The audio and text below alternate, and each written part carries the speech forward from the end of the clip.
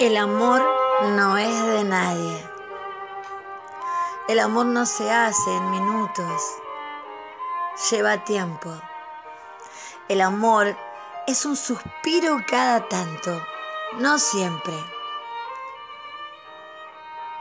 El amor es paciencia, tolerancia y escuchar.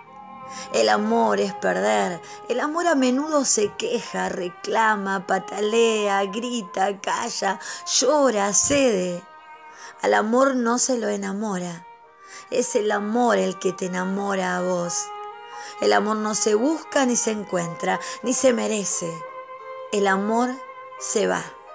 El amor nos crea al principio, o eso pareciera.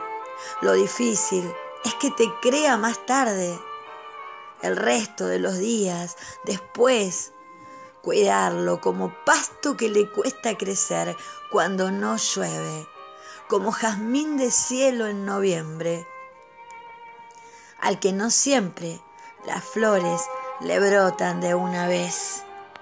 El amor es que te esperen y esperar, sin flores en la mano, sin llanto que te ampare, sin sueños que se cumplan los plazos del otro, los momentos del otro, el deseo del otro, aunque a veces concuerde con el tuyo y otras no. Hay personas que aman con locura y sin embargo nadie las quiere. Y otras que hacemos las cosas mal y las repetimos hasta el cansancio y somos amadas y mucho, por suerte.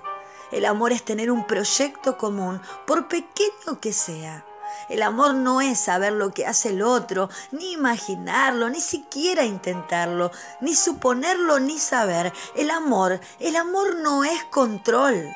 Ni parecerse, ni coincidir, ni conocerse, ni ser el uno para el otro, ni tu media naranja, ni tu parte de qué. El amor no es tuyo, ni mío, ni de aquel, ni del anterior, ni de nadie. El amor no es de nadie. Si quisiéramos conocer todas las acciones de la persona amada, todo el tiempo, la vida sería un suplicio. El amor no es posible. Y olvidé las comillas deliberadamente. Si no existe un secreto, decía Kundera, y tantos otros, lo repetimos sin entender. El amor no es posible si no vislumbra una hazaña más no sea a lo lejos.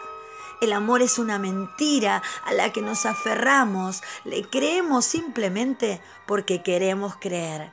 El amor te confunde, te ciega, te abraza, te gusta, te disfraza, te ensordece, te deja con las ganas y te suelta, como pájaro sin pan en el deseo. Autor Juan Botana.